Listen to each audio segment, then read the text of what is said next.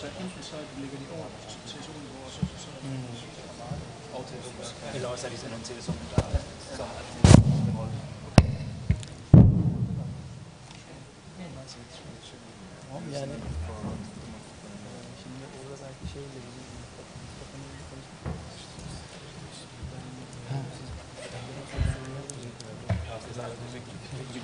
Uh, sure. Are, are you going to use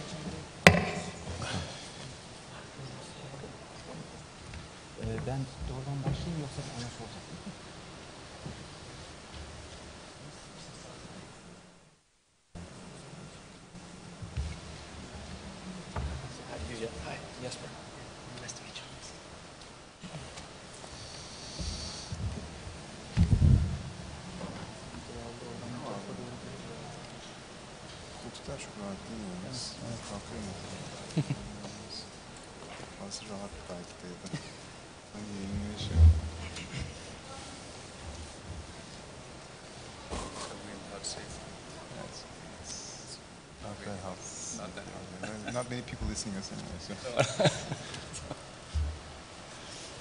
well, it seems to be all right. Start. Yeah, we are. Çok değerli misafirler, distinguished guests and fellow participants and beloved speakers. Before proceeding my speech, I would like to salute you with deep respects, and I hope that this session is going to be fruitful for all of us. Welcome. In the afternoon of the second day, it's Denmark special session. We will be talking about the procurement chain and market development and wind economics. In this session, we have very valuable speakers. I will introduce them in a minute.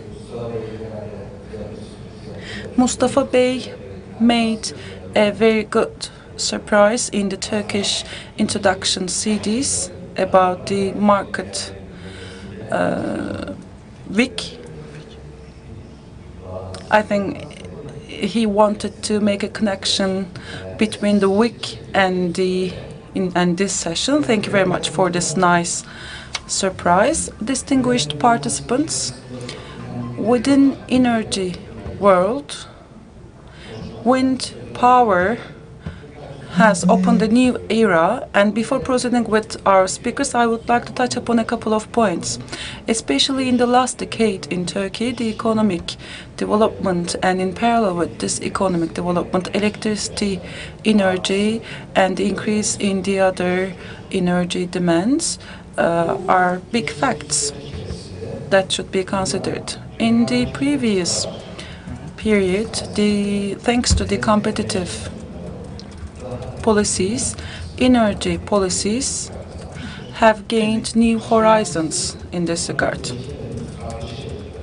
Of course, developing economy and the increasing population result in that the liberalization of the energy market in Turkey and it has become elec- electricity energy market brought new electricity energy investments when we look at the last decade before that decade the energy consumption and installed power was around 30,000 megawatt. Now it is around 68,500 megawatt, and our consumption, which used to be 145 billion kilowatt, now it is around 245 billion kilowatts. Therefore, it doubled. The figure has doubled, especially in the renewable and wind energy. We didn't have anything in the past. Now we have an installed capacity of 3,500 megawatt wind energy power plants. In this fast growth conjuncture, when we look at the targets of 2023, in 2023, the energy that we are planning to consume is around is going to be around 450 billion kilowatt per hour, and among this amount, 90 100,000 megawatt installed power is expected to be reached. This is going to be a requirement, and the wind power capacity in the framework of the government policies, I mean renewable energy capacity, is expected to reach among the total installed power uh, is going to be 30%. This is the main target. In our country, as of September, we have 3,485 megawatt installed capacity, wind power capacity.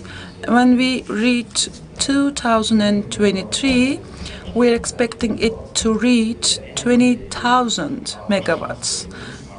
And this is our desire to attain. The total installed capacity potential in terms of wind power is around 40,000, 50,000 gigawatt, and there's a long way to go when considering this fact, and we have a huge market potential growth. Therefore, the liberalization of the market and its opening to competition and the right policies applied, the renewable energy, and within the renewable energy, the wind power and the wind issue will take its position, its desired position. We hope that it will take its position. I hope that this session is going to be a nice and fruitful session. Now I would like to continue with our speakers. Our first speaker is Mr. Jesper Packard Pedersen. He's from Denmark Energy Agency. Welcome. Mr. Pedersen he is the head of section in the Dan Denmark Energy Agency, and he has experience. He has special experience in the international energy and climate, and increasing the energy cooperation, the energy efficiency, and development of renewable energy are the are his fields of expertise. He worked in Washington D.C. and Copenhagen. Rasmussen and United States Congress. He had positions as a consultant the floor is yours, Mr. Pedersen. Th thank you.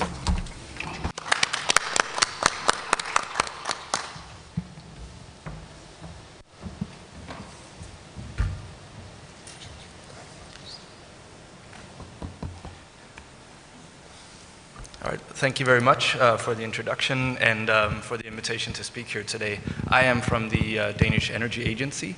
Um, some of you have probably heard our uh, minister, uh, Mr. Rasmus Helveg Petersen, who uh, was part of the opening ceremony yesterday. Um, I would like to talk because I'm part of the, uh, from one of the Danish government agencies about some of the policy underpinnings um, that uh, Denmark utilizes in order to try to support uh, wind energy value chains and wind energy market development in general. So to start somewhere, I think it's uh, very relevant to look at one of the main catalysts for uh, the Danish energy ev policy evolution as it is today, and that really begins in 1973, where there was a major oil crisis. And what you see here on the picture is um, a policy solution that the Danish government had to embrace, namely carless Sundays. Uh, the government simply had to forbid driving on Sundays because they experienced an oil shock that was so severe. Uh, there was 99% dependency on um, foreign oil, and all of a sudden, when the country experienced the inability to actually obtain this oil, they had to take some very drastic measures. This is one of them. The car you see on the picture is actually a police car that makes sure that no other drivers are using their vehicles. So this was, of course, not a long-term uh, sustainable situation. So policymakers uh, really had to think of a lot of other policy measures going forward in order to make sure that this never happened again. And so 40 years later, um, today, uh, Denmark actually has one of the best setups for energy security um, policymakers have uh, really found a number of ways to hedge against the situation you saw before with the high uh, degree of dependency. And uh, today, Denmark actually has one of the highest contents of non-hydro renewable energy. And this is a result of many, many years of uh, policy evolution that has um, been uh, supported over consecutive governments and long-term political agreements. And I'll get into some of the specifics of that in, uh, in a little bit. Um, but some of the main components are renewable energy and especially wind energy, um, but also a, a, very high degree of energy efficiency. Um, so it has created a, uh, a, very resilient economy where Danish um, economy in general is um, much more resilient to price shocks. Uh, whether prices go uh, up or down very drastically, um, Denmark actually has the ability today to produce a lot of energy domestically, and that is clean energy and affordable energy. And it also is able to support um, some of the leading global sectors uh, in clean tech, green tech, especially the wind industry, which is, um, uh, of course, uh, some of the people that are here today, um, and, and probably you know some of the major Danish uh, corporations and, and subcontractors uh, in this field. So if we look at some of the uh, policy drivers and how they've changed, the main focus in the 70s was really about security of supply and cheap energy following these price shocks. But uh, over the course of time, and especially once we passed the year 2000, um, the policy drivers have really evolved into a, a broader portfolio. Uh, for instance, Denmark has managed to decouple economic growth from growth in resource use. And this is somewhat unique in uh, the developed world because usually those two things follow each other very closely. Um, but also, Denmark has been able to do this in a, in a very uh, sustainable way um, and in a, uh, CO2 neutral or actually um, a, a, a, CO2 reducing uh, manner. So one of the long-term goals is actually to have a fossil-free economy by the year 2050. I'll get into some of the specifics of that in, in just a little bit. But also still security of supply is a major goal that uh, Danish policymakers have set for themselves. And then also um, cost efficiency. Denmark is able to produce um, electricity, especially at a very competitive rate. Of course, the end user rate is a little bit different because there are uh, tariffs and taxes um, involved, but the, the actual price that energy is produced at is, is very competitive com compared to uh, most of our neighbors. So here's part of the global context of, uh, of where Denmark fits in. If you look at it, this is a, um, a scenario from the uh, Energy Information Agency, which is part of the United States Department of Energy.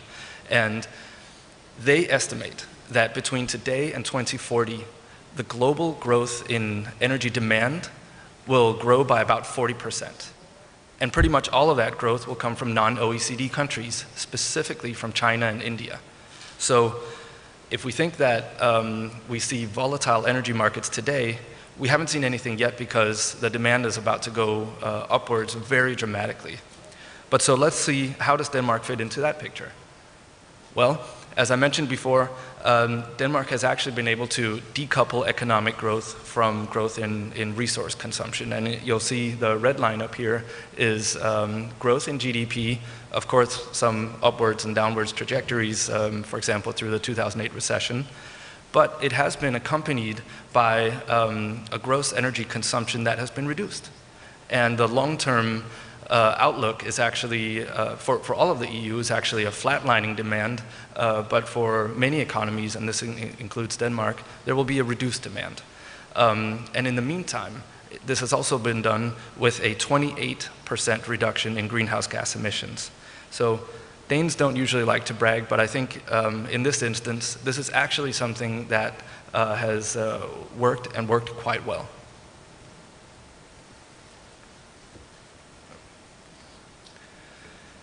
So one of the key components that Danish policymakers really think about in terms of um, trying to create a positive foundation for wind energy value chains and uh, you know, have positive effect for uh, the wind energy market development in general is trying to set ambitious and long-term goals.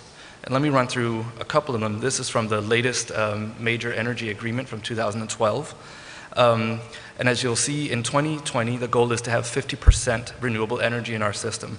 In 2030, the goal is to phase out coal.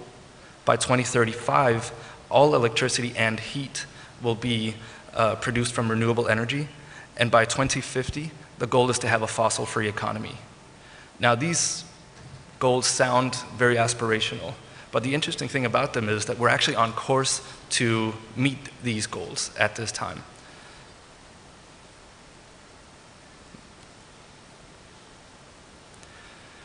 One of the other notions is to take a broader perspective on the notion of sustainability. Where we often think about sustainability in environmental terms, policymakers really try to think of uh, a broader notion of it so that includes uh, economic considerations, commercial considerations.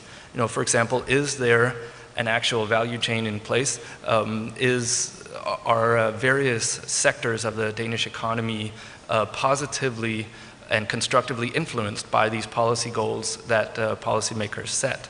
Um, beyond that, is there a knowledge base in the country? And this uh, includes um, you know, researchers, academics, consultants, um, but, but also a corporate knowledge base that's able to consistently um, ensure that technology evolves in order to push down the price curves and make sure that, um, for example, our um, electricity grid is actually able to encompass a large degree of renewable energy, uh, which has um, you know, volatility and, um, and also increasingly uh, is produced um, in, a, uh, in a decentralized way. And ensuring that knowledge base is actually a major investment, but it's something that we think that, uh, has very long-term benefit. Um, so that's why uh, this is included in, in one of the sustainability considerations.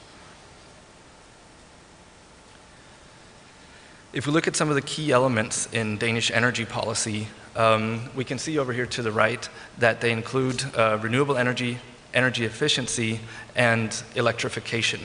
But, but all of this, as I mentioned uh, just previously, is really dependent on um, substantive knowledge base from research development and demonstration. Um, it's really the basis for um, continuing to evolve the technology in a way that makes it available and, uh, and cost effective so it can compete with um, often subsidized fossil energy.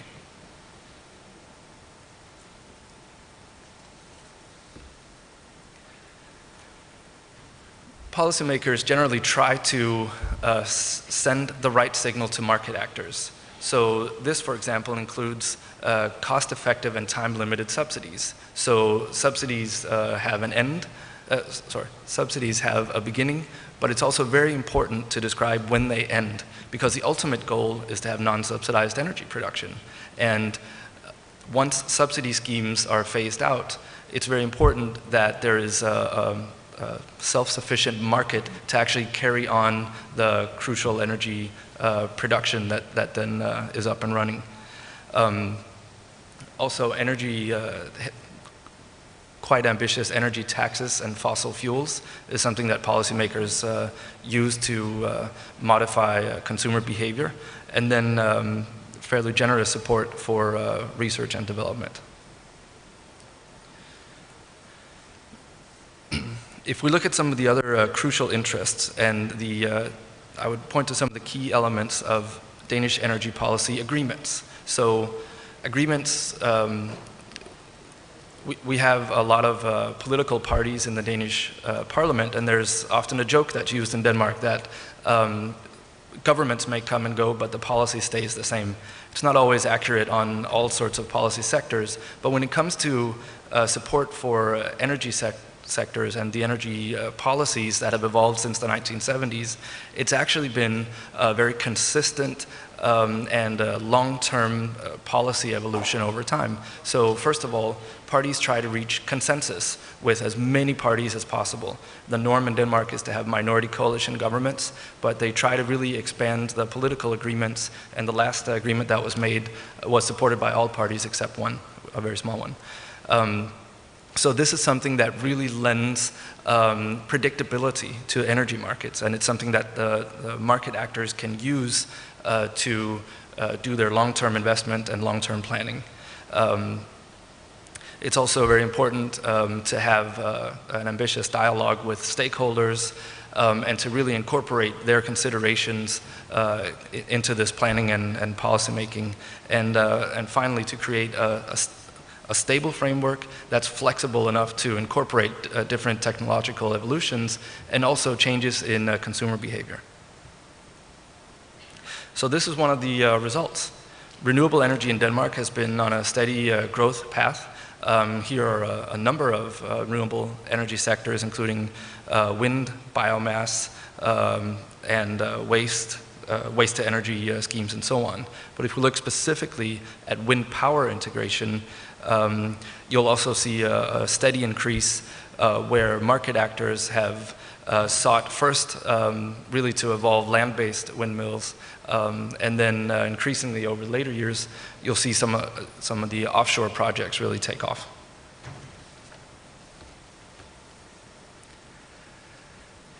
Here's where the uh, private sector actors come in. You can see that actually a majority of uh, wind projects are owned by individuals and also uh, in investors investments often come from uh, the private sector. We also have cooperatives, um, and there are schemes where uh, the neighbors of windmills basically have the uh, either the first bid or um, uh, basically uh, a better setup for investing in, in, windmills. And this is one way to ensure better public acceptance and buy-in.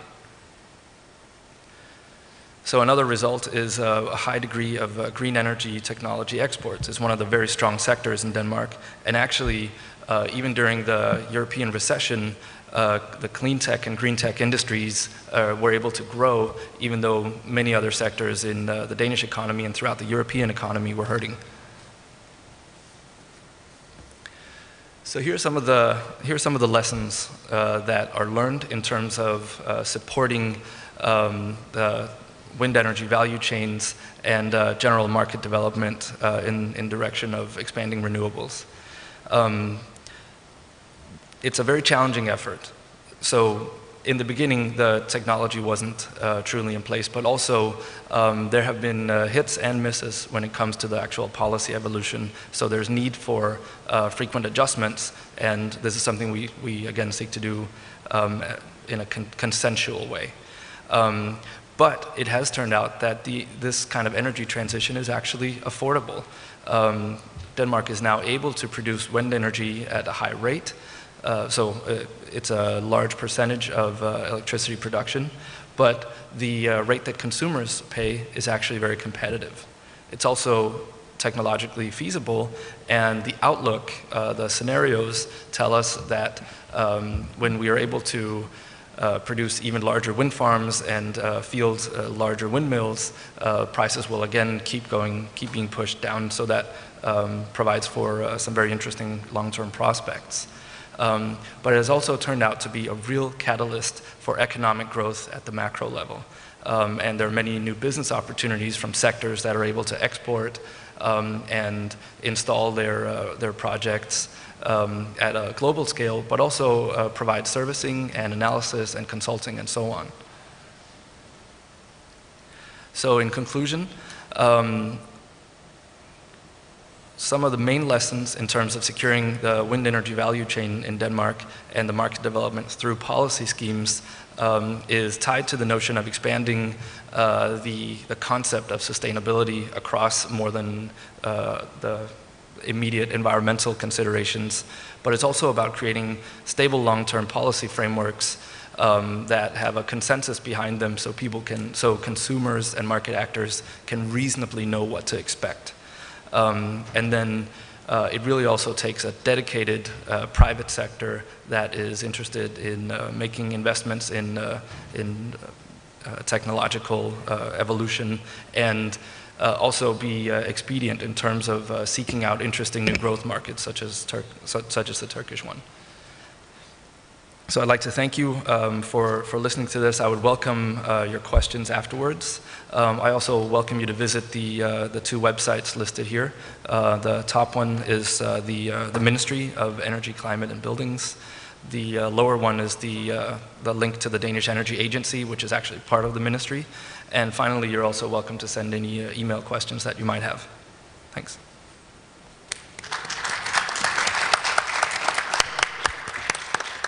I thank you very much for your contributions, Mr. Patterson. Şimdi de arkadaşlar e, Bay Now we have uh, Mr. Erik uh, Christiansen. Erik Christiansen is a graduate of Aarhus. Uni- he was he, was the former head of Industry Corporation of Aarhus University. He was a lecturer, supervisor, and consultant in the 1990s. From uh, in in the 2000s, he served to the, to the Danish government uh, in terms of improving quality and talent uh, management. And then he moved to the uh, Aarhus University. And in 2012, he built his own Sippin Out company, and now he is the CEO of Brains. And that's how he continues uh, serving to the industry. Mystic, uh, Mr. Erik Christiansen, the floor is yours.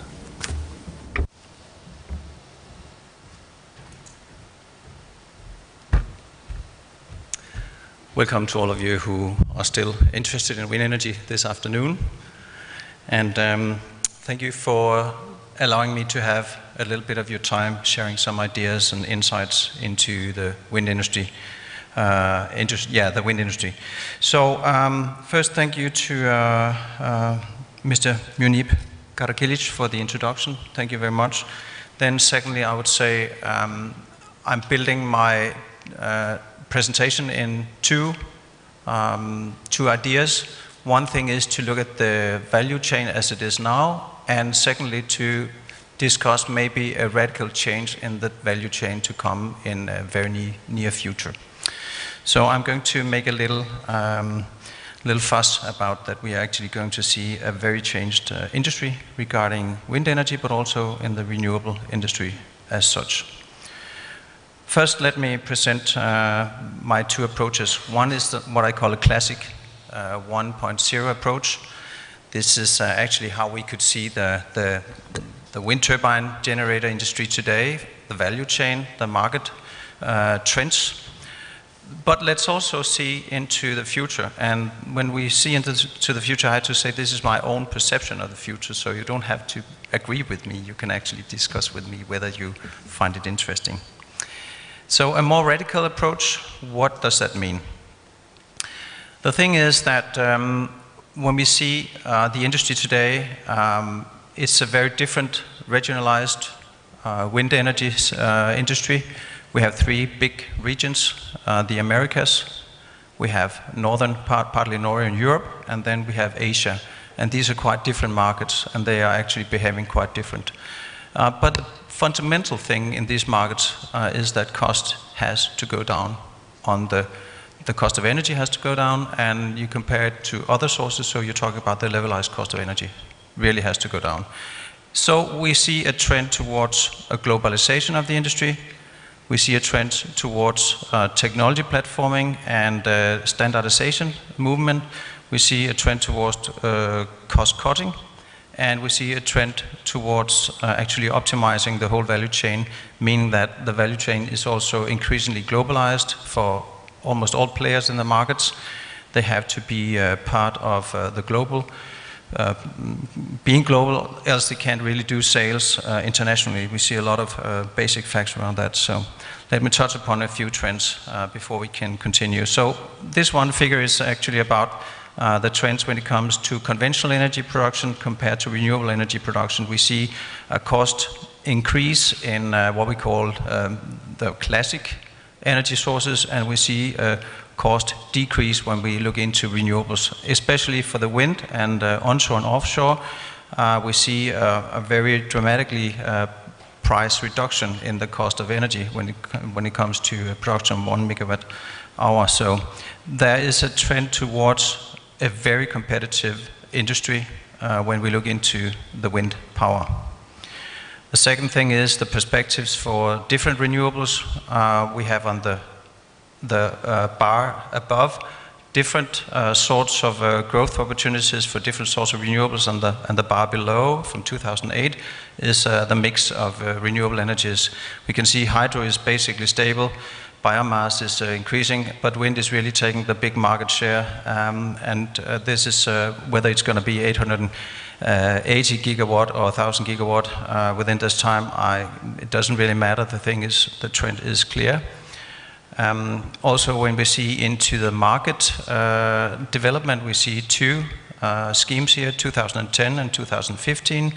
2010, we see Asia has a very large uh, production of megawatt installed in 2010, but since they have predominantly small turbines, they're not accumulating that much when it comes to megawatt. In 2015, this picture is actually changing. We see Asia also gaining momentum in, in larger turbines, and, um, and that technology has uh, developed quite fast. We see Europe is uh, actually a market where we see uh, very, very large turbines and very huge machinery, and America is uh, some, somewhere in between. Um, when we look to the markets and the market trends, and this is uh, really important to see that these are actually not one big globalized market, actually region, regional uh, strategies. Europe uh, goes really towards uh, large uh, turbines. We talk about uh, 6 megawatt and 8 megawatt machines, and we probably see 10 megawatt machines coming up soon. And when we talk about 8 megawatt machines, we, we talk about one turbine, 250 meters of height 250 meters. Just think about it, one machine. It's really, really large uh, machines. These are very complicated, but the, the reason for getting uh, larger and larger is that the swept area of the rotor, the, the area where the rotor actually gains the harvesting wind, is going to be increased very, very much. So making one machine much more efficient than a bunch of small ones. When we look into Asia, there's quite another uh, um, competition parameter, and that is re really the price. Price is uh, about everything, so if you don't um, fit the market uh, price-wise, you're not going to be there. When we talk about America, it's a, it's a basically a political system. Uh, there's a very strong uh, energy sector in America producing other sources of energy. So there's a, a, fight and a battle between actually how much to support wind energy. We see some uh, different um, funding schemes coming uh, forth and back and uh, making America a very volatile uh, market. We're going to see a lot of development in South America, in Brazil uh, predominantly, but um, let's see how it, how it ends up.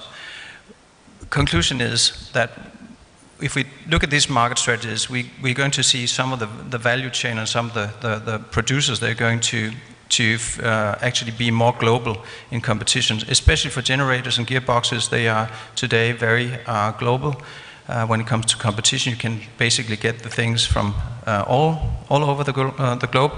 Uh, and when it comes to blades, blades are very difficult to, to design. it needs, takes a lot of knowledge on load and aerodynamics and the towers uh, are difficult to handle and, and shuffle around, so they are predominantly more regional uh, produced. So uh, we see a, a, actually an industry trend towards um, very different markets and, uh, and different perspectives, but basically price and capacity and industrialization and standardization, those are the drivers in, uh, in the market. When we look into uh, competition, uh, just to, to state it, we see that turbines are increasing in size, megawatt uh, on the y-axis and uh, a year on the x-axis. We can actually see that, that generally uh, the pressure on producing larger turbines and uh, better components and at the same time actually try to minimize weight and, and load on the system. we see that trend is, is proceeding. We see that turbines are getting bigger. Uh, when I look into Turkey, um, there's a very good material in the package. You can actually see what kind of turbine is in bid and is, is up, going to be installed in Turkey, and we can see a lot of 2.5, 3 megawatt uh, turbines coming up. That's quite interesting. These are compared to, to Denmark, uh, rather big uh, machineries onshore. So Another thing which is very important for the uh, value chain to think about, that's actually um, the, the, the, specialization. Um, if you are not specialized, the company uh, doing very many different things, you're not entirely focused on wind energy, then you tend actually to have a very low, uh, very, very low export sale. If you, on the other hand, a company who really want to be in energy and you, so to speak, use 100% of your resources becoming better within that field, then you will have a lot, lot larger chance of being compatible uh, globally and have a larger um, export sale. You would, uh, and, and this is basically what this is about. You see, these companies here, they are, have a very less amount of uh, revenue generated from wind power and basically they're very home market oriented and very local oriented. On the other hand, if you have a company which is uh, predominantly or 100% doing uh, wind energy, you'll see a high degree on uh, international sales, exports, and you'll also this one. So basically, this amount, which is the home market amount, this uh, share of home market uh, appearance is quite uh, small. So um, companies really specializing they are, they are having a competitive edge. That's important to say when you think about the industry in Turkey. It has to be, or at least over time, become very specialized and focused in what it does, uh, as it won't have a chance when it comes to getting from Turkey and out into the international uh, competition. When we look a little more into the component, what does, what does that actually mean, then we can see that uh, as I said before, towers and blades are still uh, predominantly uh, regionalized, but um, some of the main components are actually to be sourced from everywhere, and this uh, puts a pressure on the, on the price, price mechanism. So, what does that mean? That means we have three different market parameters. One parameter is adaptation to local, that means being local, adapt to local conditions in Turkey, I guess for many companies who would like to invest in Turkey, that is a very, very, very important uh, parameter. That is the parameter of getting into the market, so market access and maybe uh, to some extent also uh, a cost, um, cost rationale. On the, this axis here, which is uh, predominantly Europe, we see a scale economy benefits where we see larger volume productions. We, we see, um, oh, sorry, we see uh, actually trading with different knowledges across uh, the economies, meaning that um, you can actually uh, make cross-regional sales. You can actually understand what is uh, important in this market, and then you can actually sell the, the assets or the goods in different markets. So you see uh, lots of companies actually uh, seeing and looking for different potentials in different markets. That's what we call aggregation. And then the last thing as well, also for the trading benefits arbitration, we see that the price on uh, pro uh, produced energy and the price of the components being a, a relatively important market driver. So actually we have three different uh, strategies. So adaptation, and we have aggregation, and we have arbitration. And these, uh, these drivers, when, when we look into what are they going to mean to, to us in the industry, I think, uh, and these conclusions are really my own, so you can, you can actually debate them.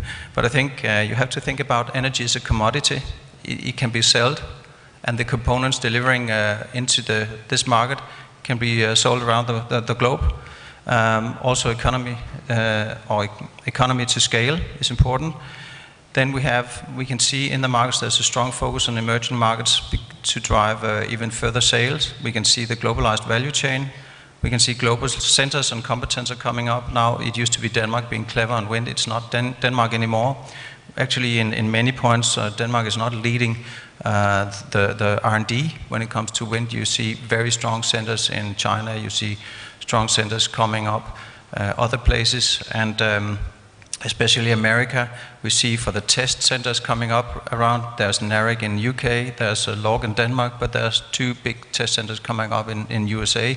So actually these centers are going to, to, to distribute much more knowledge into to the market about what is actually working. And I think that's a, a very good development.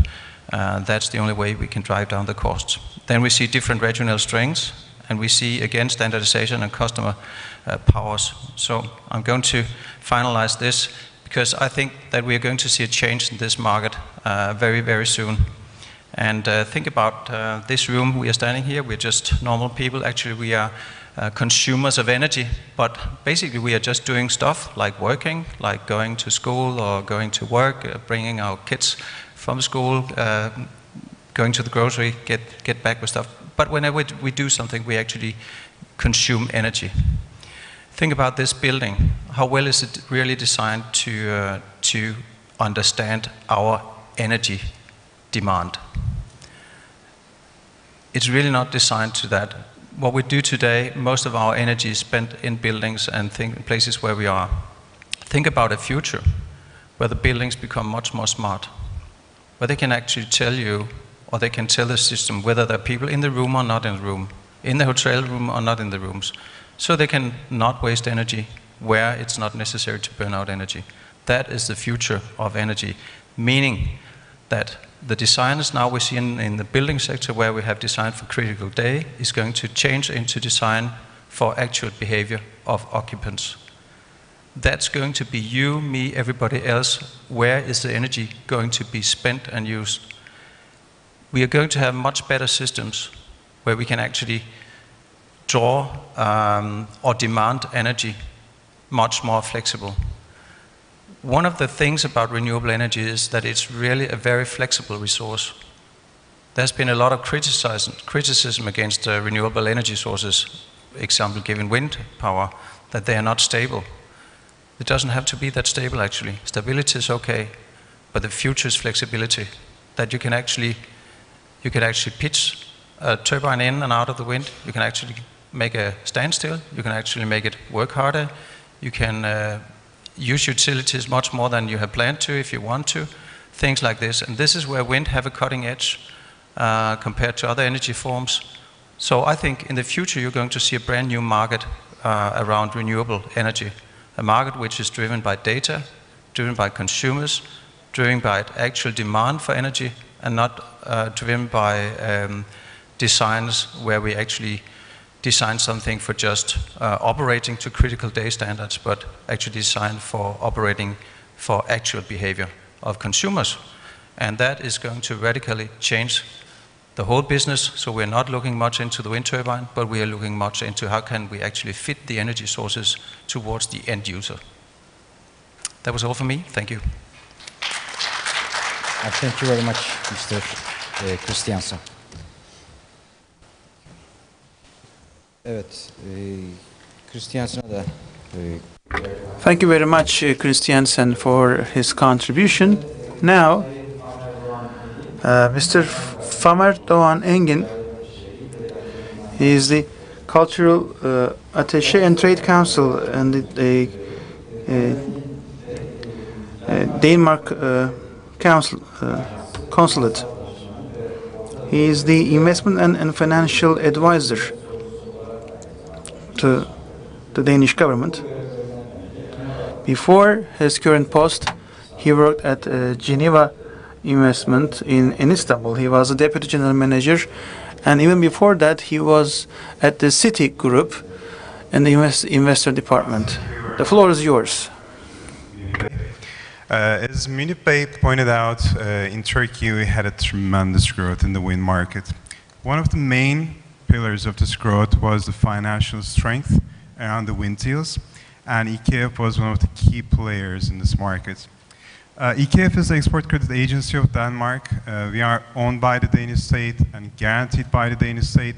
This is extremely important because, first of all, a guarantee by the Danish state means a lot, even if you go beyond the borders of Denmark. But at the same time, there are very few countries in the world who's left with a AAA credit, and Denmark, luckily, uh, is one of those countries. Uh, although we are owned and guaranteed by the Danish state, we operate on commercial terms. This is an interesting slide uh, because it shows the growth of EKF over the years. Uh, despite the, is too close? Okay.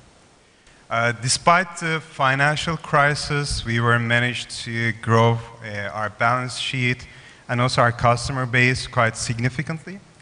And Turkey is definitely a very key market for us. Uh, the current market exposure to the Turkish market is over 450 million euros.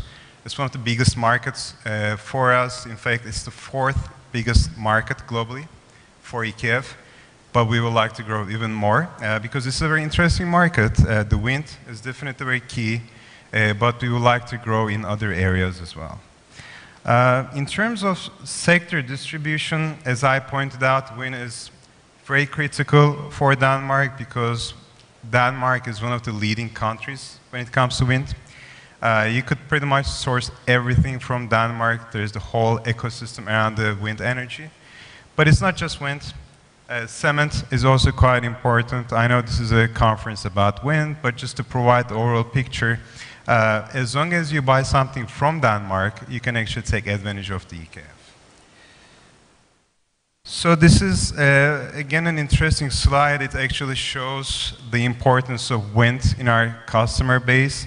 Uh, But at the same time, it also shows the diversity of our client base as well, because uh, you have, yes, energy companies, but you have, you know, logistics companies, you know, food manufacturers, uh, all sorts of companies in our customer base. And we would like to even grow more, diversify more uh, when it comes to the supports that we provide to our clients. Uh, so this is pretty much um, a brief introduction about EKF. I just wanted to paint the backdrop uh, before I talk about the value creation uh, we could create. So the main idea here is that as long as you buy products Denmark, uh, you need financial, you may need financial support, especially on the wind part, because we all know that you know the energy market is quite leveraged.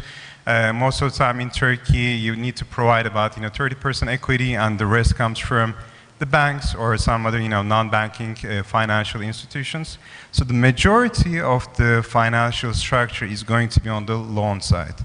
Uh, most of the time, the way you finance that 70% is going to be the deal breaker. You know, you have to be extremely careful, you know, extremely diligent about the way you structure it. So with EKF, uh, we can actually help you lower the interest rate, first of all, and also extend the duration. How? Are you going to do it? Uh, so there are two products that we typically leverage in Turkey.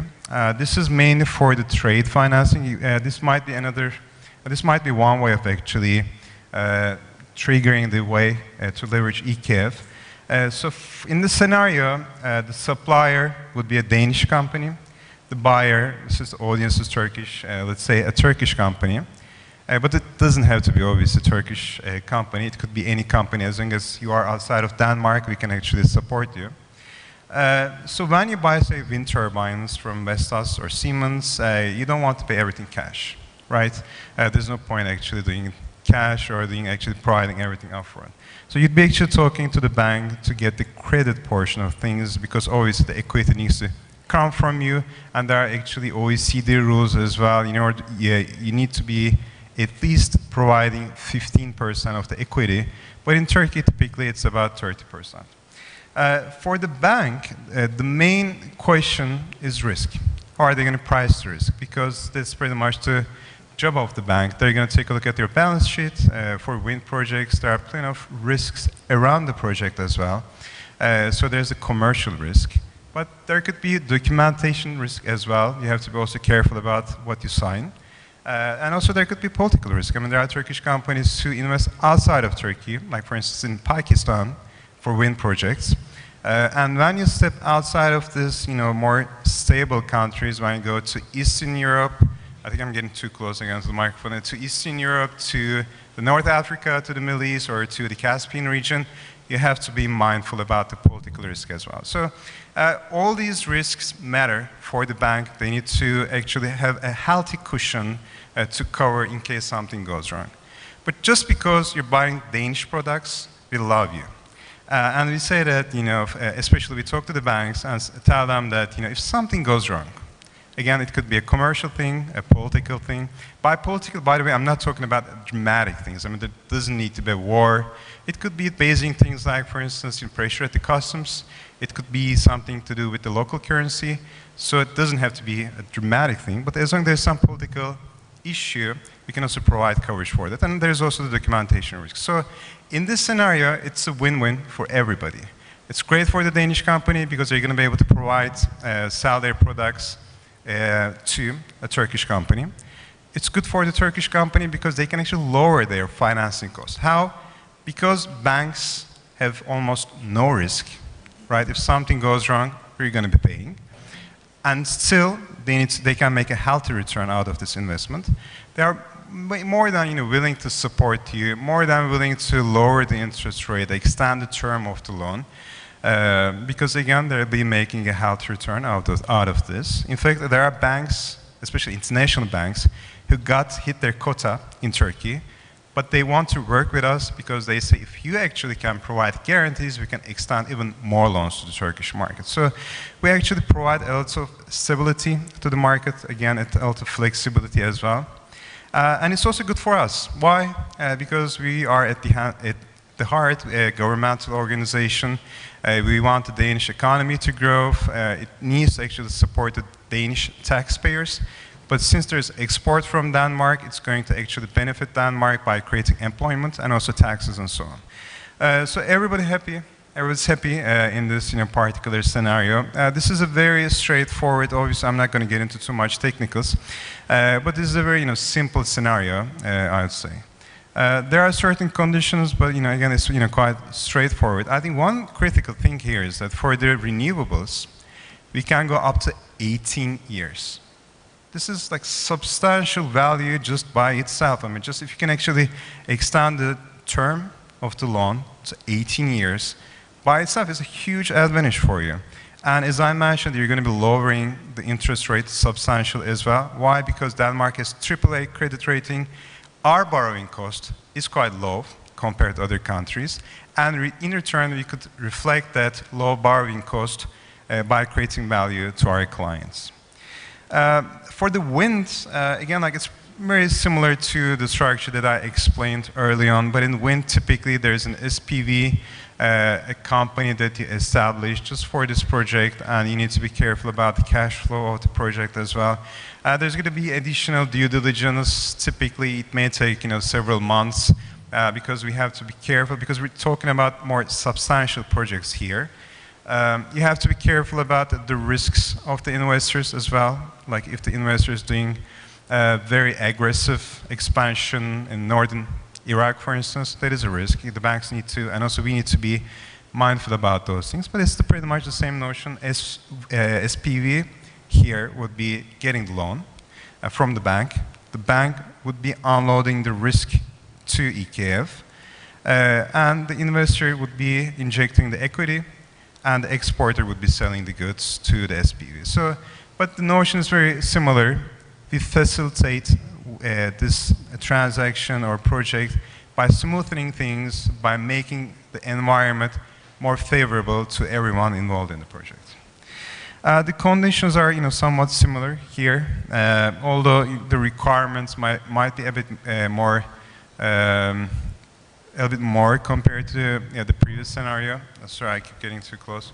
Uh, but it's pretty much the same notion. Uh, but again, we can go up to 18 years if it's a renewable project. Uh, for instance, one example from Vestas. Uh, actually, there's an even more recent example from Borusan, uh, who's going to be talking after me. Um, but you know, we've been in Turkey for a very long time, and we've done a lot of deals in Turkey. That again is a huge advantage if you work with EKF because the banks know us, we know the banks, we know the local market, we know the players.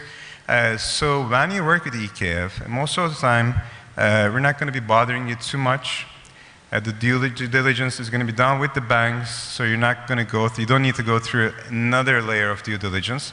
Uh, and also, all the, you know, the paperwork between EKF and the banks are kind of straightforward because, as I mentioned, you know, everybody knows each other uh, and it's already been done in Turkey many times.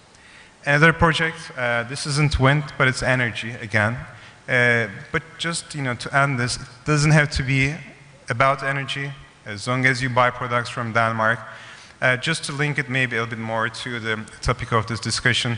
Uh, so if you are, for instance, a wind manufacturer, uh, I'm sorry, a turbine manufacturer, and like to source more from Denmark, you could be a German wind manufacturer selling products in Turkey.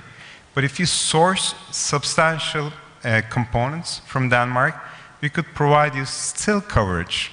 Even though you're a German company, as long as you buy products from Denmark, we can provide the support in Turkey. So we are quite flexible as well.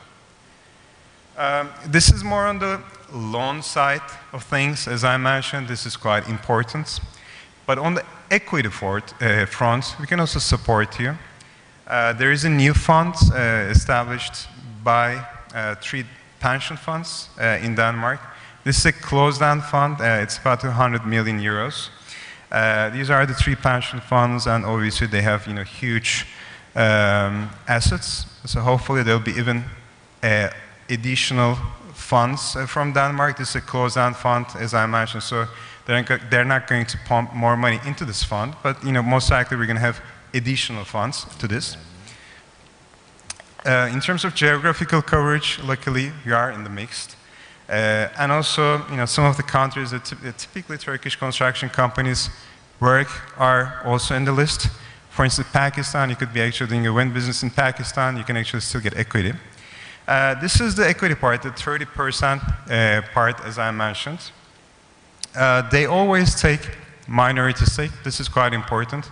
So if there are two uh, partners in the deal, they can go up to 49%. If there are more than one partners, uh, they still will take the minority stake. They'll never take the controlling stake in the deal. Uh, the deal size could be from 2 million euros to 50 million euros, which is about like, let's say, you know, 20 million USD. It is quite substantial if you think about it. For instance, 20 million euro coming from this fund, say for the 50% of the project, or 49, and then the rest will be coming from a Turkish company. So in total, we're talking about 40 million equity. This is just the 30% of the deal. So in total, with this, you could actually talk about uh, projects that are over 100 million. Uh, we could obviously, you know, take less. We don't like to take less than 20%. Uh, but, you know, like easily you could actually finance uh, projects, say 200, 300 uh, USD with equity from this. They like to actually have also a pre-agreed exit strategy. It's very similar to a private equity fund uh, in this uh, frame. They would like to get out of, uh, get out of the investment in about five to seven years.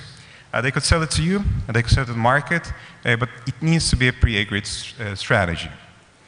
Uh, I'm not going to get into the details too much, but it's important to understand that we can support you as long as you buy Danish products. That is the only condition. Sometimes I get questions about like if I buy German turbines, would you still support us? No, we cannot support you. So you need to be buying Danish products, or there's going to be some Danish content in the deal. Uh, but we could support you on both on the equity side and also on the loan side. So this is a whole value for you. Uh, it's a huge market. Turkish market is huge. It's developing very rapidly. Uh, but there is a need for financing at the same time, and we're trying to actually enable the growth of the Turkish market as much as we can.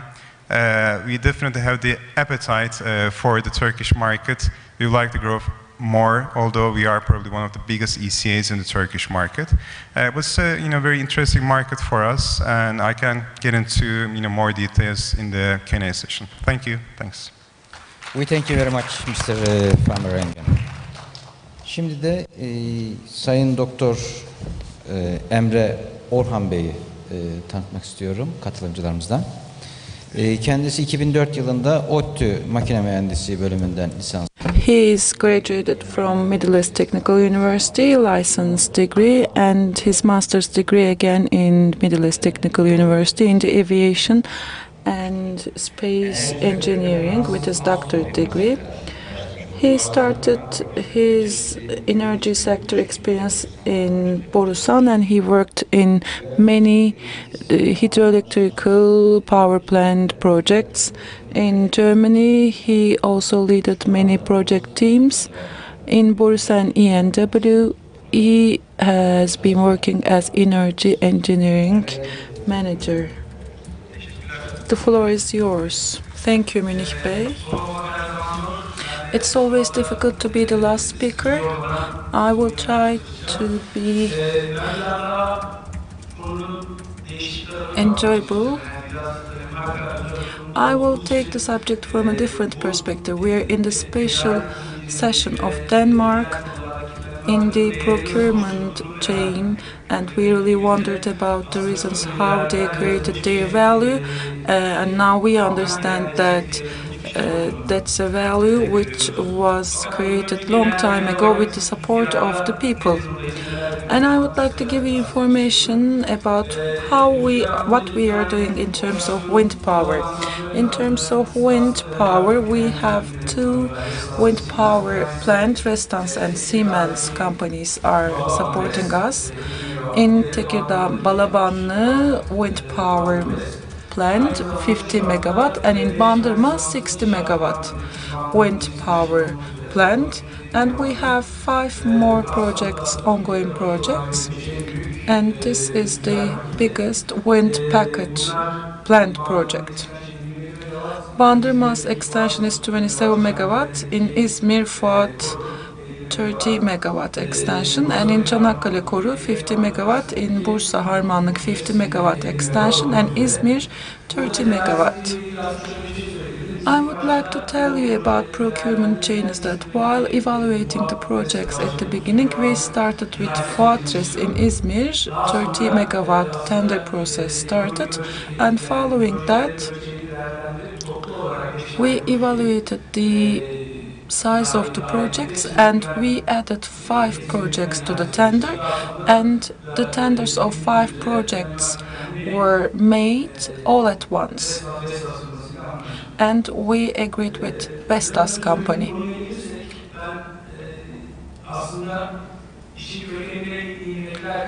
While talking about going to the root of the success, I really wondered how Denmark succeeded in doing so, and I made a small research about that. Is there anyone who have heard uh, heard about this project, Tvindkraft project? This project, a group of teachers in 2000, uh, in 1972. These teachers were named as radicals, by the way. They were volunteers, and this project was created by them. Vestas used to be an agricultural machinery producer back then, and the motivation behind this as stated by Mr. Patterson, in the big economic crisis of that period, what we can do? How can we overcome this problem? Should we go with the nuclear power, or are there any other potentials, energy potentials of Denmark? Following all of these evaluations, they created a group and they set up this turbine with the support of the volunteers and any kind of contribution was accepted to this project and it was completed in three years. What matters the most here, in my opinion, okay, maybe I should talk about that later. In 1980s, we were talking about turbines with 75 kilowatts but this turbine has a capacity of 900 kilowatt. I didn't have a chance to see it personally, but, I, but I, as I read, it still generates electricity. In Sweden, for example, a similar nuclear power plant, which was opened around the same time, was closed in 2005. Henrik Tisdal, we all know from the nuclear power world, and he was really impressed by the trust that those people had that time. And they were working for the project on a voluntary basis and they were trying to show the value of the wind.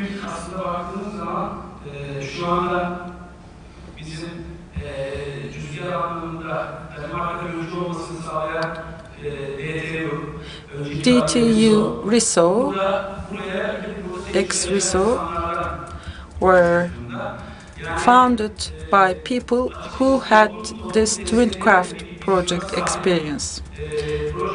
This is a project with the support of the society. We can see how far it has come today.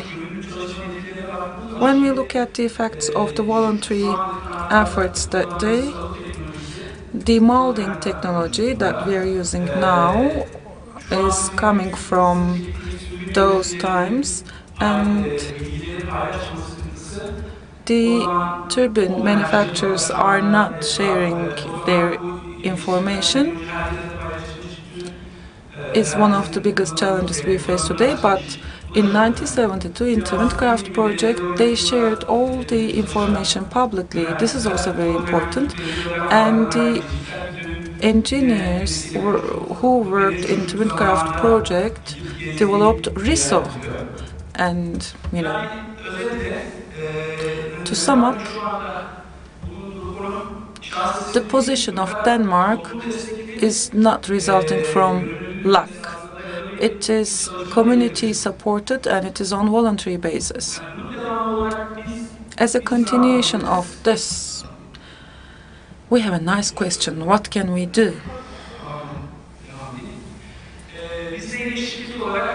As Borusan, we're still going on the projects actively. I don't want to go into too much of details of the project. We are working hand in hand with different institutes because the value created here is not only about the companies but also the side branches should also be involved. And in this regard, there are many studies conducted in that regard. In Middle East Technical University, Rüzgem Institute was established and we are working uh, in cooperation with them.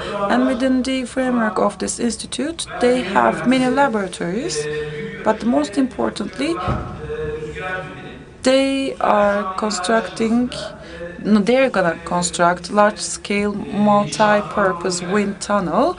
It is at the process of tender now, and next year this project is going to be complemented. This is not only going to serve for the wind industry, but also for other industries as well. And we will have a chance to test our works, and it will also serve for the construction sector. A similar tunnel is also being constructed in DTU in Denmark within the university. Therefore, it is going to be very useful for both sectors. Second of all, new European Wind Atlas study is out there. In the past, we didn't have a chance to be involved in these initiatives, and these are the elements that will constitute the value. The atlas was prepared towards the end of 90s and only the meteorological station data was used and as a result of the atlas in the projects developed according to the data of this atlas there were some problems faced and the aim now is to make the calculations by taking the uncertainties into consideration. While I'm talking about the uncertainties, till 33% in non-complex areas and in complex areas 10% deviations are going to be into consideration. Not only the wind power will be calculated but also the deviations will be calculated. The modeling, the experiments and the database and we are working under the experiment branch. The consortium leader in Turkey is TÜBİTAK and this is a project of four years. On the left side, these fields are the test fields because of their characteristics, and we are here with our field in Mersin. In Mersin, this area has an altitude of 1,700 meters. It's a high altitude area to sum up, in Denmark, this movement, this voluntary movement started in 1972, showed them how valuable the wind can be. And this conscious can be achieved only with the support of the public. And in Turkey, along with the project development, we need to support it uh, as a public. And as I mentioned earlier, Rüzgem's wind tunnel and other new wind atlas projects were now being involved in those projects and we know that the wind in Turkey is valuable and we should show people that this is a sustainable energy source. This is all what I wanted to say. Thank you very much. If any questions, I would be more than happy to answer. Distinguished participants, if you have any questions, I would like to take the questions first. First, introduce yourself and then tell the name that you would like to ask your question to.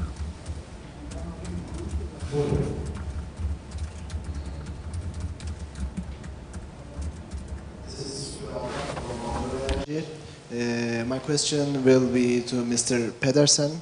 Uh, thank you so much for your interesting presentation. I have a little question that the point uh, 2050. You mentioned that uh, according to the target, uh, you're going to provide the energy 100% from renewables in 2050. Uh, at that point, is it planned to use some energy storage methods or such to balance the energy demand in different times of day? Or what kind of uh, precautions you take? Thank you.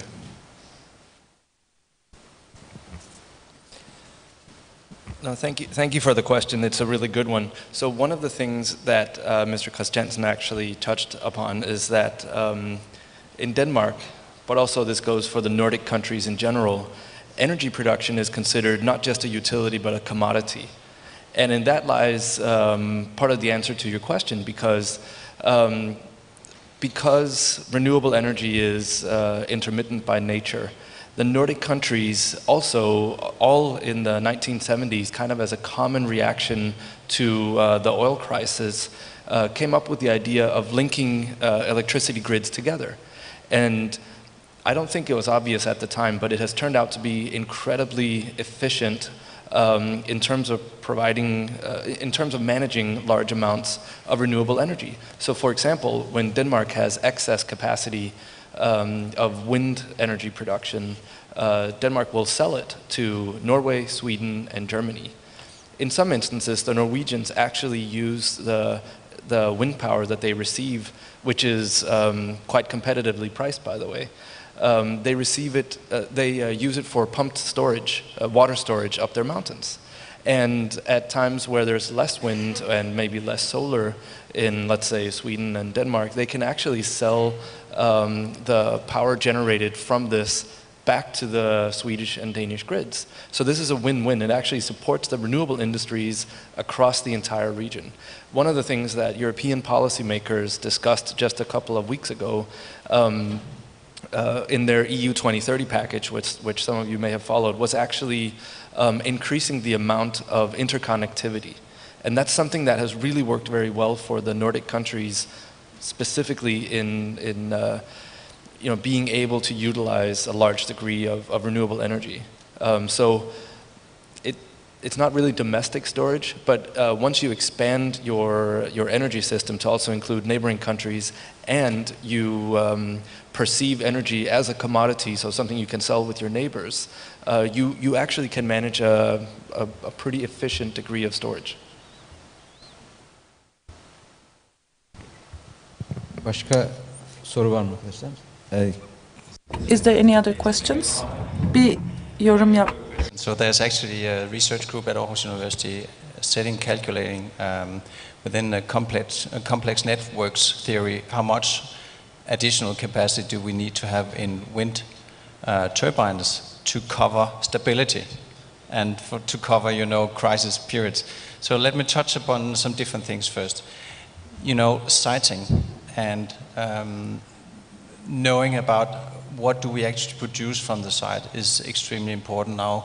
We've been uh, listening to different uh, methodological models. It has been uh, developed uh, very, very fast from very big, large meso models to very local models where you can actually follow the wind minute to minute and predict uh, the production. This is one, one very important thing because it means you can actually turn up and down production according to, to the wind source. First thing. Second thing, there's not just wind energy, there's also, like in Denmark, we have uh, the district heating.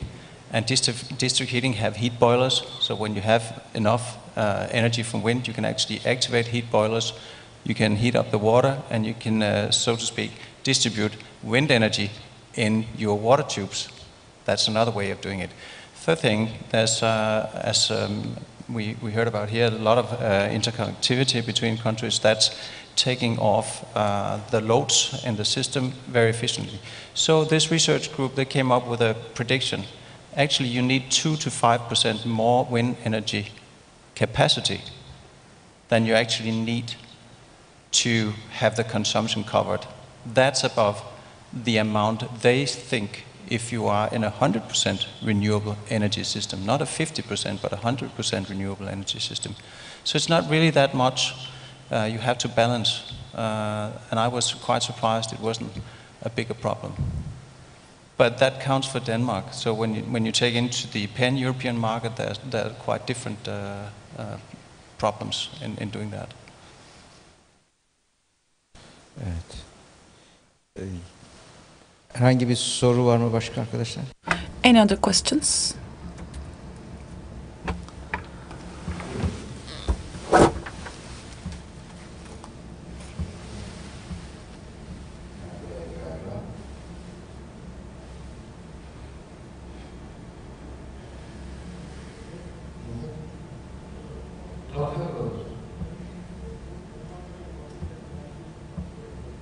Inaudible. No, the translators couldn't hear that.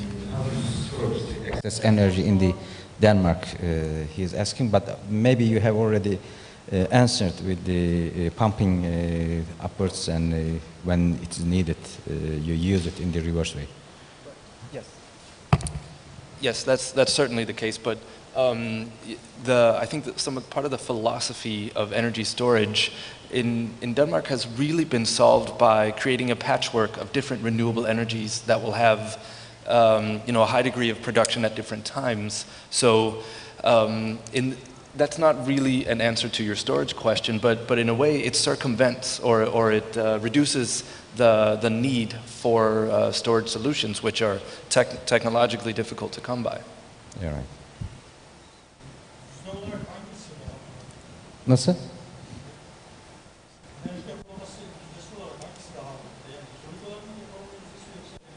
Sorry, the gentleman is not using the microphone.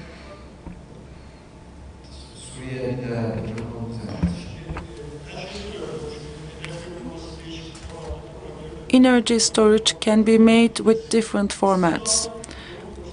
What is the breakdown of energy storage types you're using? I'm, I'm wondering about the percentages of energy storage types. they are pumping the seawater upwards and when needed it is just like the hydroelectric power plant are you using are you using heating method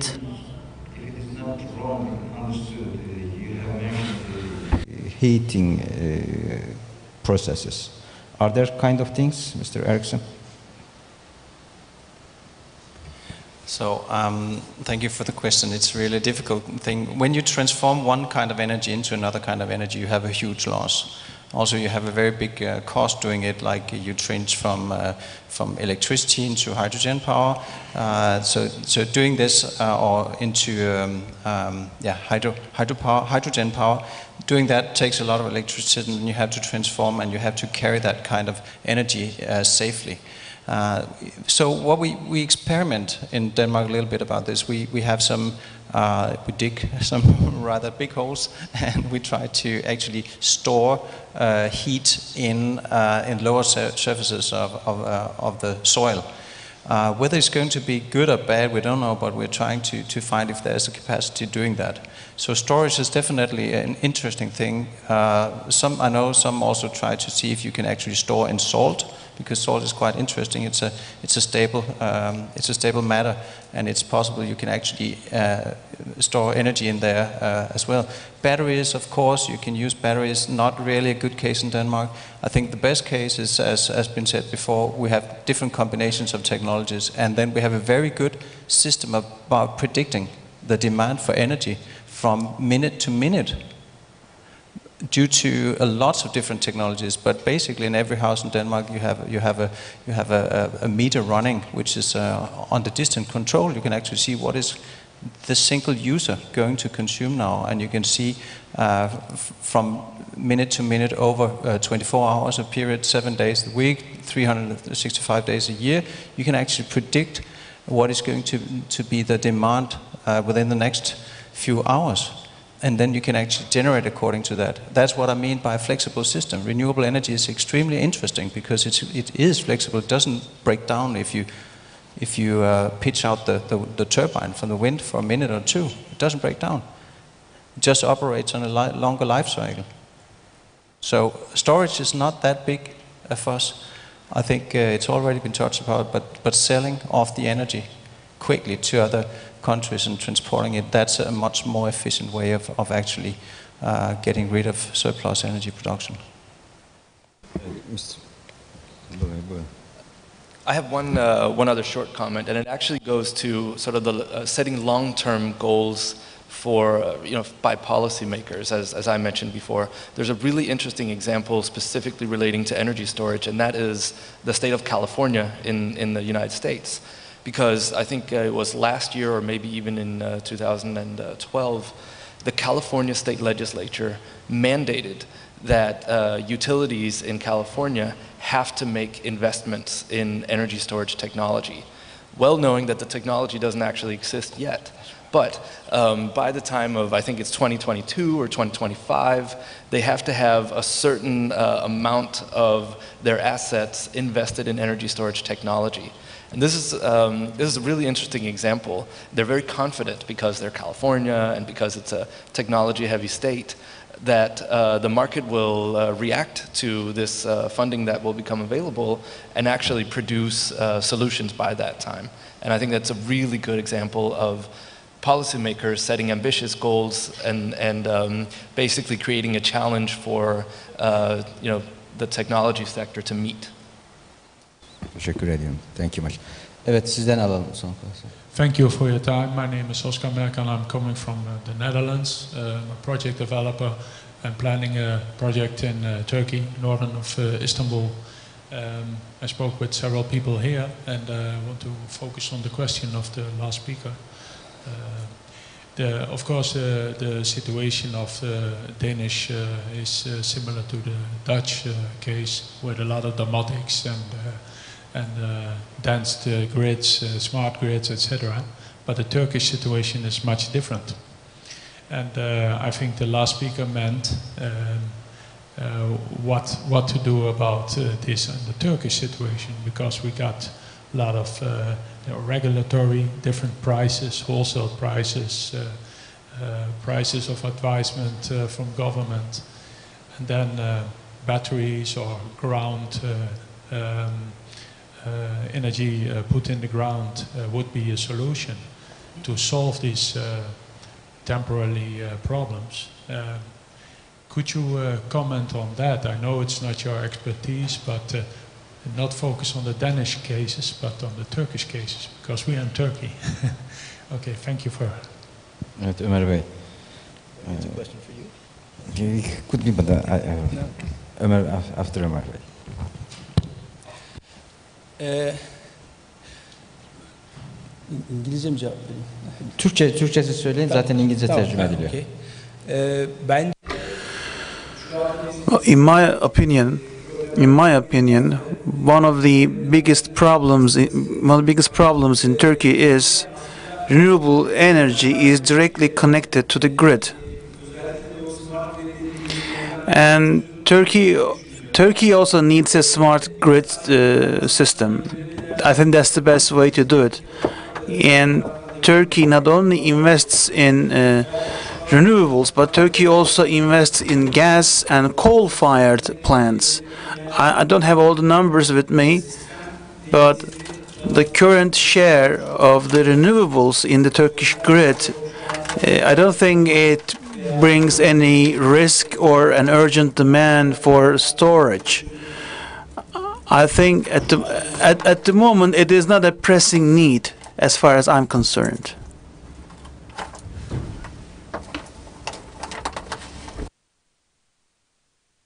Peki Ömer Bey teşekkür ediyorum.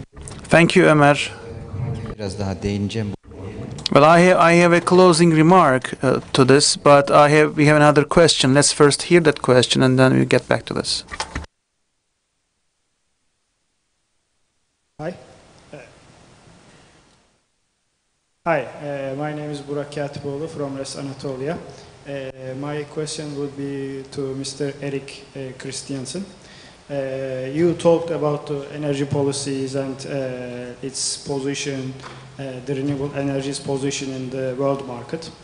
Uh, my question is, there are like tools like uh, carbon emission permits and such other tools uh, which uh, try to drive uh, third world countries or other uh, other countries out of Europe or uh, let's say United States uh, to switch to this uh, renewable energy world. Uh, do you think uh, uh, these uh, tools will prevail or do you think that business as usual approach will take out and like drive us to some kind of doom in environmental sense. Well, just, just a short comment from me, and this is a private personal comment. Uh, uh, we see the CO2 uh, quotas as a, as a trade system that it actually is something you can lift off your company, but you can only do some kind of uh, certain emission uh, level. Uh, it is not really working very well. Uh, prices on CO2 quotas have gone dramatically down. It's not a, a pricing instrument where, where we see a lot of companies are tending towards being more energy efficient. I, I think, and that's a pity because uh, as yesterday, one of the main arguments really is if we can save energy, that is the cheapest energy we can actually harvest. And it's not difficult to save energy, it's, it's, quite, it's quite easy to do it. And the return on investment on exactly saving energy is very short. So whenever you have installed uh, new uh, systems into your house, then you get a, a, a good feedback uh, on your investment. So what CO2 quotas does not do is to regulate uh, the incentives in the market for, for actually optimizing energy consumption. But what, what the market really does, if, if you want to, you can, you can have a very good business case in inventing, investing in, in, uh, in energy efficiency, for example, giving houses. There's a lot of opportunities there, and you should just go use them. So there are alternate tools uh, uh, that you, that can be used to uh, encourage uh, renewable energy in uh, also in at other countries outside Europe. You, you believe? I think um, regarding the renewable energy, I think uh, you should consider the total cost of life cycle, life cycle for a given plant. And the thing is that coal, coal is going to be more and more uh, expensive. Gas is going to be more and more expensive. Wind is going to be cheaper, and PV uh, is going to be cheaper. Hydrogen has its size. You cannot, uh, yeah, you can make artificial lakes, but it has it's it's expensive, right? So, so you can you, you have to look at the total life, cycle of the the, the type of energy form, and there renewable energy is going to be very competitive in price, but there is a weakness in the system. If you don't have a grid system that can actually take up this energy or trade it, uh, then you're in, you're in trouble. Thank you for your answer. Buyurun. Bir soru daha var. İki-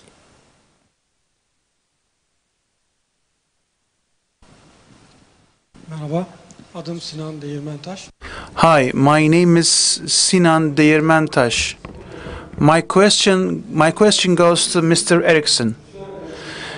New generation uh, wind uh, components.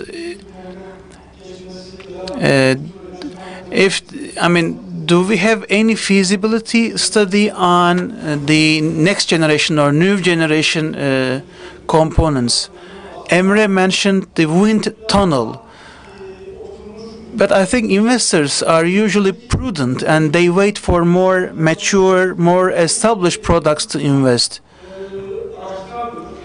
I mean, we and and, and a lot of these things are done in secrecy, and I really want to. I will be happy to know. I mean, do you do you recommend us to wait until a component is used, tested, and proven, or would you, would you recommend us to be more adventurous and try new and next generation components? Well, That's difficult because Yeah, who the takes question the was risk? for you. you also you always have to, to take risk into consideration. So who is taking the risk? Um, I think uh, to very many components in the wind industry are very mature. Uh, when we look to the blades, there's a lot of scientific uh, research going into the blade structures, to the blade service, uh, uh, surface, to the blade uh, um, shape, uh, to improve the, the actually the wind surface on the blade. So blades have become extremely efficient, but can even be, improved by adding flaps or new types of, of shapes into, into the blade. I know lots of things are going on in the wind turbines, uh, sorry, the wind tunnel uh, project at Risø, uh, DTU is actually going to, uh, to improve on, uh, on the shape development. So if we look at blades, a very important part, it's a mature uh, component. We see new types of uh, composites, fibers used in. Uh, we see new uh, lightning protection systems added to the blades. I think that is that's not a problem. Go for, for finding good uh, um, companies in the field that knows how to design a good blade.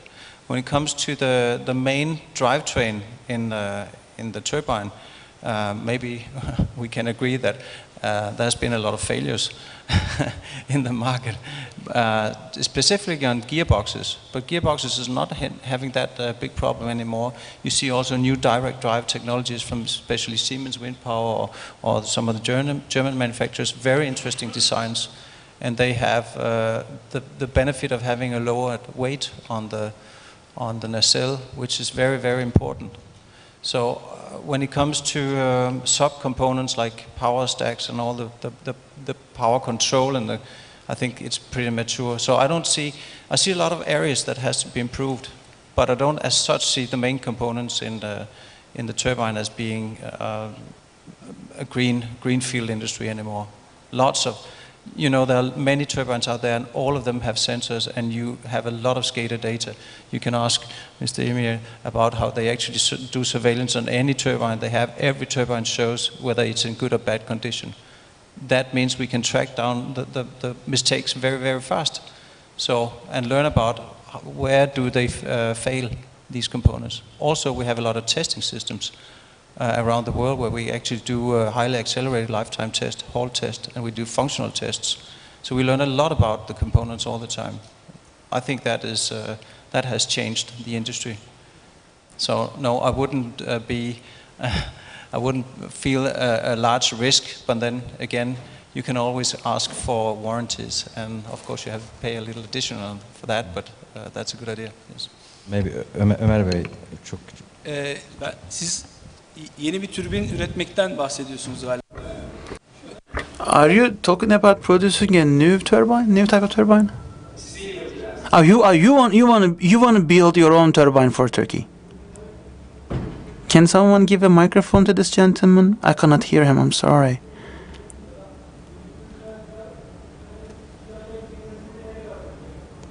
I I honestly could not hear him.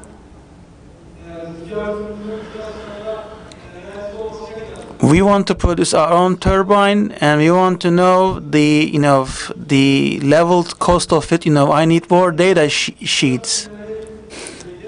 Shall shall we wait for the next generation turbines or what? All right here is my answer. I suggest you to follow the trends.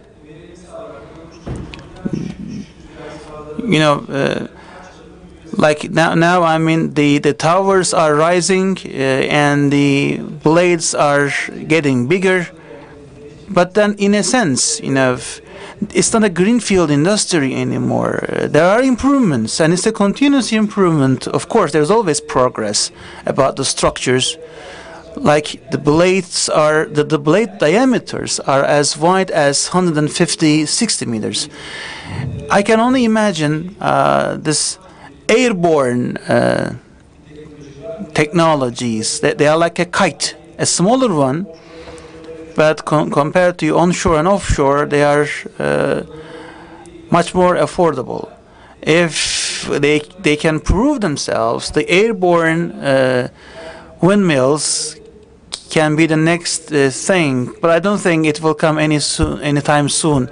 And then there are high altitude uh, turbines, like uh, 500 meters, very high altitudes. We're talking, and they want they want to benefit from the high altitude uh, wind flows, but the, but they are not commercialized yet. They are just tested at the moment, as far as I'm concerned. Because for commercial purposes, you, you need uh, to test them and certify them. And turbine manufacturers don't necessarily take added risk. They have an established platform, they work on improving their diameters and shapes and things. I think this trend will continue. I thought the question was coming from a slightly more sort of general perspective, so, so let, me, let me just answer from that perspective. Um, you were asking about adventurism, and I think in general, what we're seeing at the moment is the, the price of investing in, in, in new fossil power generation has actually become the adventurous thing to do.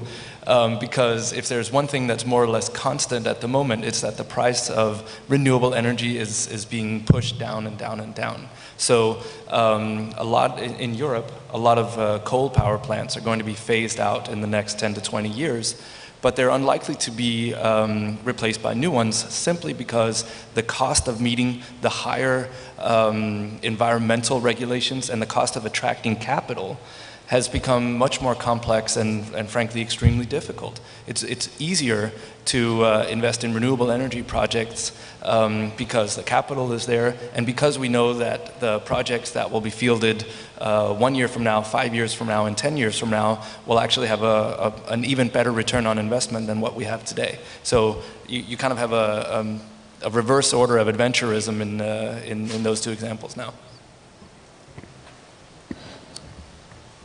Okay. Ee, buyurun son soru olsun. One last question. Açık mı? Şimdi hep büyük türbinlerden bahsediyoruz. Uh, I mean, thank you for talking about the tur turbines and blades and high altitude and long diameters. But why not go for the smaller, like uh, 10, 10 megawatts for, for uh, you know, uh, slower wind. Why, why don't we incentivize, you know, expanding on? I mean, uh, are we so eager on, you know, high me megawatt, you know, for high altitude, for for the big? Do we have to go for the big to, to earn more? Why not focus on efficiency? But in Turkey, the ministry is not working on it, and the private industry is not really advertising them. Anyone wants to, wants to take on this question? Okay, let, let me like let me take this question. Well, Turkey Turkey has a soaring energy demand. The projections are uh, suggesting a big gap. That's why uh, everyone is talking about the bigger sizes. But talking about efficiency, I mean, can we can we go for a 10 uh, kilowatt design? But why not? But I mean that that that that typically works for a household or maybe maybe for a small factory. But that won't, and I have no ob objections at all. But then, I believe uh, most of us in Turkey, I mean, our primary purpose is to meet the energy demand of the nation, not of a household.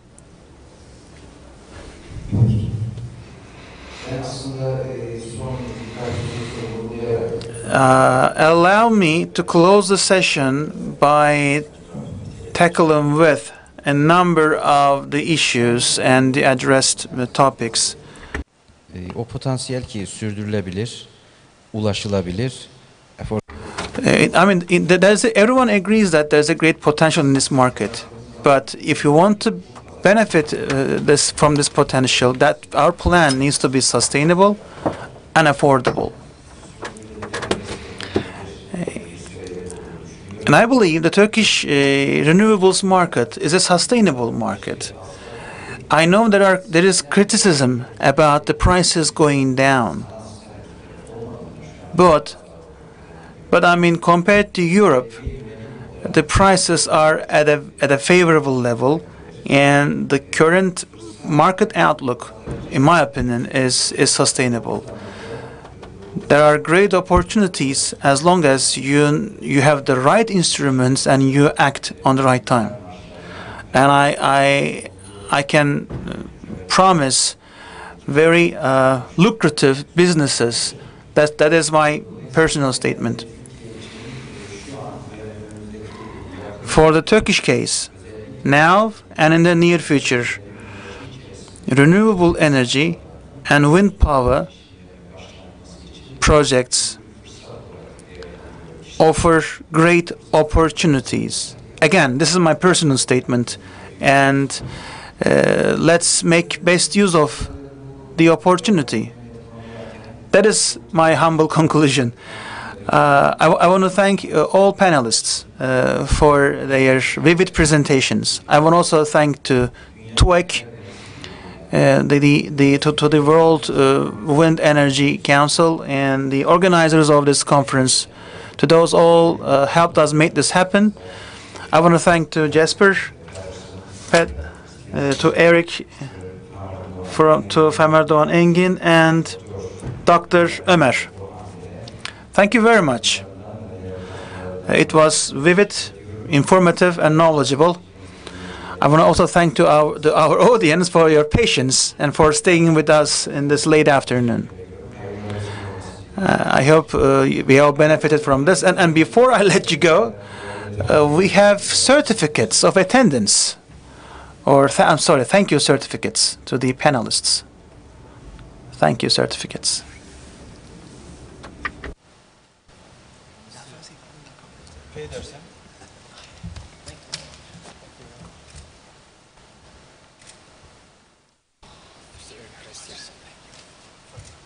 Take